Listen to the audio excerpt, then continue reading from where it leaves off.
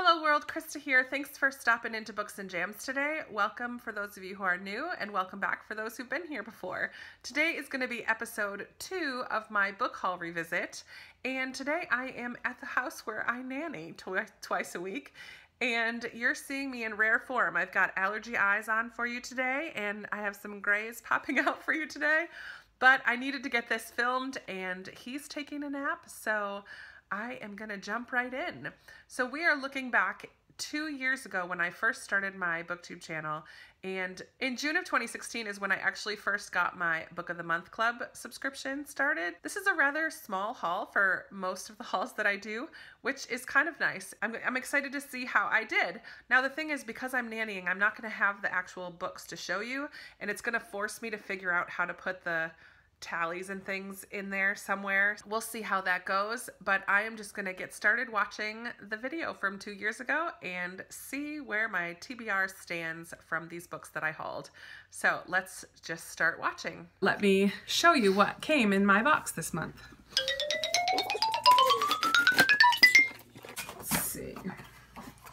Here we go, Book of the Month Club. The book that I chose for June is called Before the Fall by Noah Hawley. This is a thriller mystery about a plane crash. Yay! So the first book I actually have read. I have a shelf full of unread Book of the Month Club picks, but this one I actually did read and I really didn't care for it that much.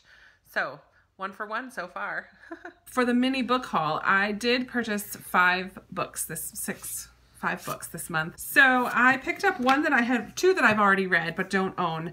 And one is by Francine Rivers and it's called The Last Sin Eater. Francine Rivers is one of my favorite Christian authors. And I picked up between Shades of Grey by Ruta Sepetys. So I've also read Between Shades of Grey. So, so far from the first three, I've read all three of them, which is fantastic. Of course, two of them I read before I hauled them, but they're ones that I really like. So I'm glad to have them. And let's keep watching. By the way, Between Shades of Grey is my favorite of Ruta Sepetys books. I know most people tend to like From Salt to the Sea or Salt to the Sea the best, and I did enjoy that one, but Between Shades of Grey, because it was really focusing on one girl, I think I was able to connect a lot more and I just absolutely loved it. So if you're looking for a quick World War II historical fiction about a part of the war that you're not as familiar with, because this is about a girl from Lithuania who gets transported on a train to Siberia. So it's more of a Russian work camp as opposed to a German Jewish work camp. So it's a, a little bit different of a twist on, not a twist, it's real life. Um, but yeah, it was really good. So let's continue. Then I picked up three books by Kristin Hannah. I read The Nightingale recently by Kristin Hannah and Kristin absolutely Hannah! fell in love with it. I don't even read the backs of these. I just know that she wrote them. So I picked up Homefront, Between Sisters, and Winter Garden. Okay, so out of these three Kristin Hannah books, I have only read Winter Garden.